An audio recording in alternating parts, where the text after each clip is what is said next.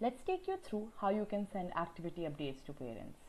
Under activities, go to today's activities. Here, you can use the filter to view the activity of a given date or month. Now, you'll see a list of activities you can choose to post about.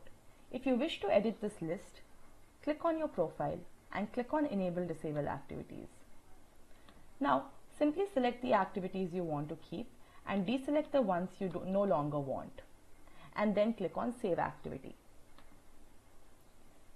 Now go back to today's activity and you'll see the activities you've selected appear here whereas the ones you deselected no longer appear here. Now in order to post an activity update, click on an activity and select the students you want to post it for. You can even filter students by classroom or groups. Then add a note. You can even add labels. Labels are basically subgroups you can use to categorize activities. Later, you can filter your activities by using certain labels.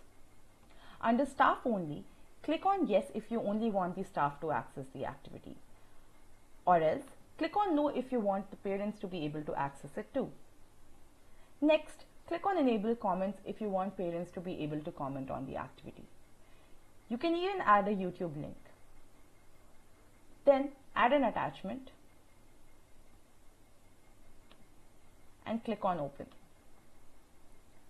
Then click on submit. Your activity will successfully be posted.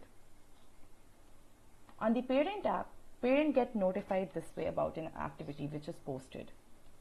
They can view the activity on their timeline